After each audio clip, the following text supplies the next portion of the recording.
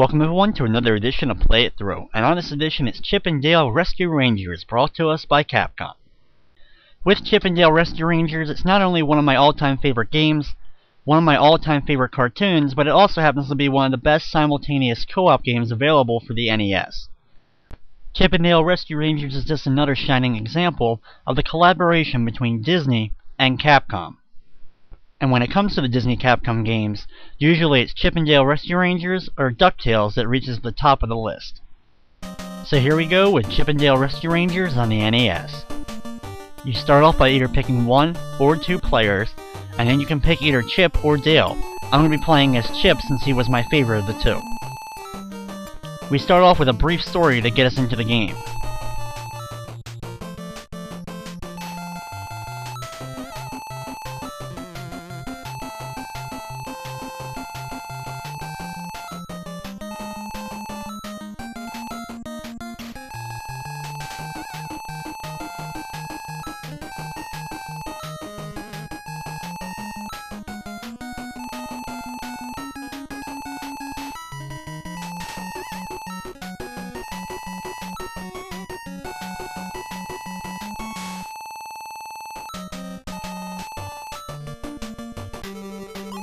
One of the first things you'll probably notice is that while the levels are quite big, you're actually really small, so it gives you an interesting perspective.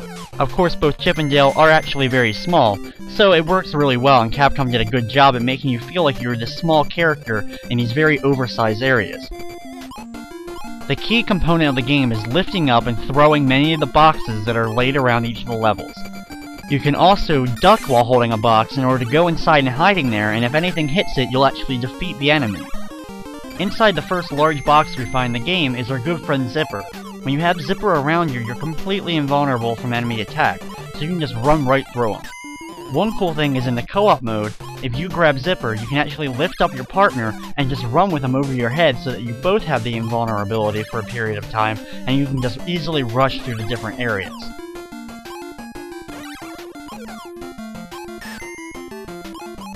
The worst part about this area is be very careful of the electricity running along the wires. One interesting thing as you saw right there is that some enemies when they jump off screen on the top portion, they will disappear off screen, they won't be able to land again, so you can use that as an advantage to get past certain enemies. When you get inside the inner area, you're going to have to build up a couple of blocks in order to get to the higher part. It may take you a try or two to get down the physics of moving the different blocks in the game. Once you grab this box, Monterey Jack appears, runs, and causes a hole in the fence in order to get to the first boss battle of the game. All the boss battles of the game have the same mechanics, picking up this red ball and launching into the weak spot of the enemy. For this first boss, it's very easy to launch it up and then avoid the two lightning streaks that come out of both the left and right side. After you defeat the boss, and after every level, you have a little bonus area where you can lift up random boxes in order to find random items, including flowers and stars. After you collect 50 flowers, you'll get an extra life, and you'll get an extra life after you collect 10 stars.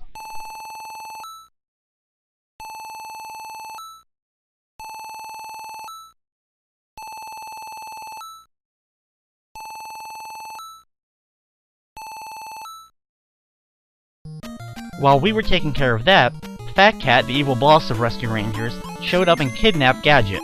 So now we have to go to Fat Cat's casino in order to save Gadget. On the main map, you can actually select what levels you want to do. You don't actually have to complete every level. For the sake of this run, though, I will be completing each and every one of the lettered levels. The only real difference is you actually will see the same cutscene twice, because since you don't have to complete every level and they don't expect you to, you will see certain cutscenes a couple of times.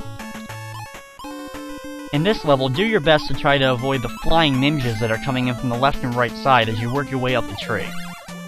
For the second boss of the game, it's this owl that moves on the left and right on the top of the screen, dropping down many little feathers. Avoid the feathers, which are rather easy to dodge, and keep launching the red ball up at him. After a few seconds though, he will drop down and you'll be able to throw the ball to the left, and when it comes back at you, anytime you throw a ball left or right, you can actually grab it as it bounces off the wall. You can use this to your advantage to do a lot of quick damage to some of the bosses later on in the game.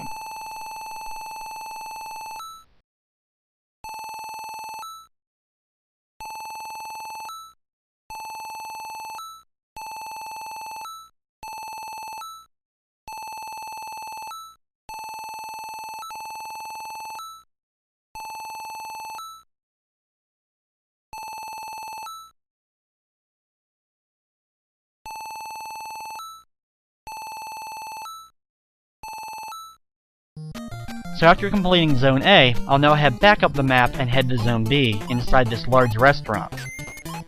We start off with a lot more of the mechanical mice that we first saw in the first level. Do your best to jump over most of them as you're making your way through and grab boxes as you need to in order to defeat them. In the second area of the stage, we have these bears that throw a spread shot of balls at you. E either go under them if they're way above you, or quickly do a backup in order to avoid them as well. When you get to here with the different amounts of faucets, jump on the faucet a few times in order to shut off the water.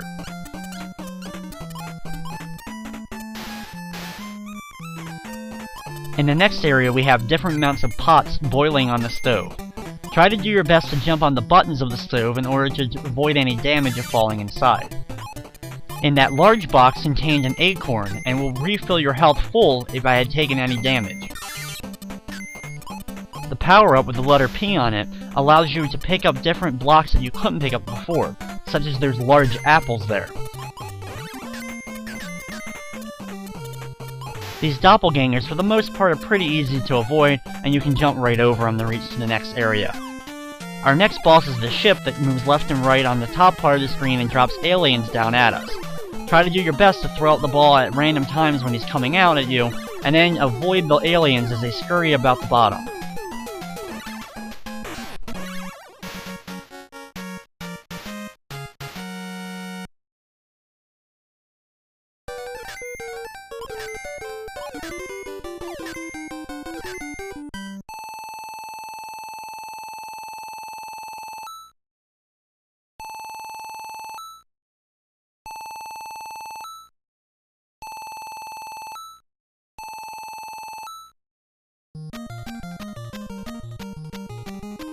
Level C is a big house filled with books.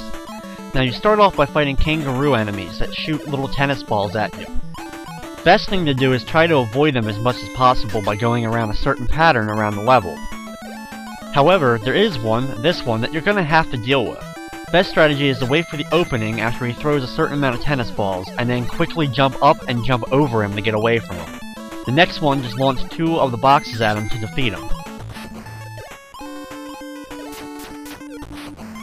Wait for an opening after he throws a certain amount of tennis balls to drop down, and pick up the two boxes needed in order to defeat the enemy so that you can get into the next area of the level.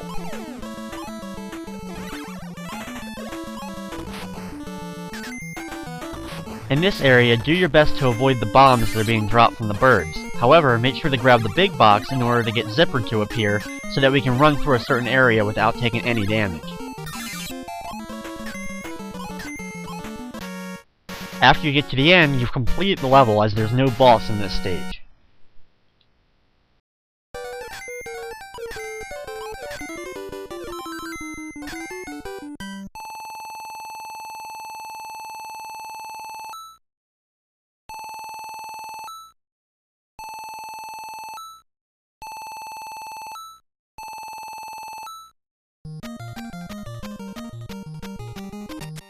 Zone D takes place in a giant toy store.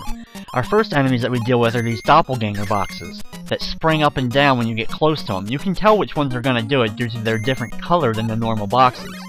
Once we get past a group of them, we then have to deal with these jack-in-the-boxes. On the top level, you're going to have to destroy them in order to get past. With these enemies, you throw a box at them to keep them spinning so that you can sneak underneath of them to get by them.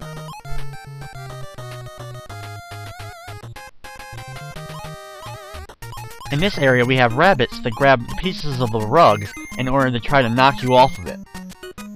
Try to do your best to avoid them, as I like to hang around the top area because there's only one bunny to deal with. For these switches, you're going to have to hit them with a box in order to switch them into the off position. With this one, drop down on it, and then throw a box on it to go back into off mode, so you can get past it. With the jack-in-the-boxes, you have to wait a few seconds and then you eventually will be able to get over them, in case you don't have a box with you at the time.